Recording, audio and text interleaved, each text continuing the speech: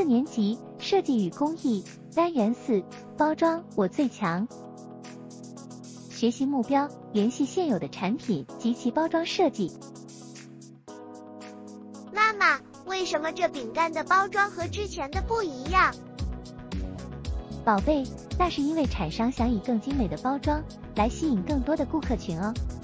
食品的包装不但要设计的精美，而且必须拥有正确的信息，以让消费者更了解此食品。包装是一种用来保护产品的容器，以确保在运送、储存或展示时都保持良好的品质。每种产品都有自己的包装，有些包装看起来很简单，有些包装却很精美。包装的种类有铝制品、锡制品、纸制品、木制品、玻璃制品、塑料制品。同学们，我们看看每种包装的样子吧。以下图片是铝制品包装。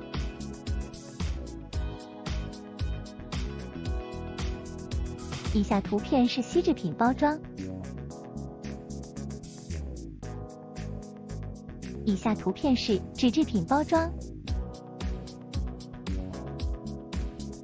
以下图片是木制品包装。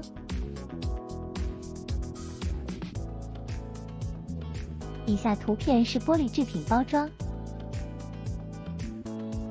以下图片是塑料制品包装。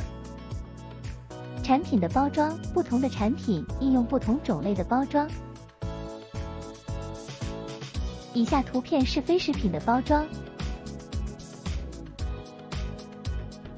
食品的包装，以下图片是湿食品和干食品的包装例子。如果喜欢我的影片的话，记得订阅、打开铃铛、分享、按赞。我们下个影片见哦！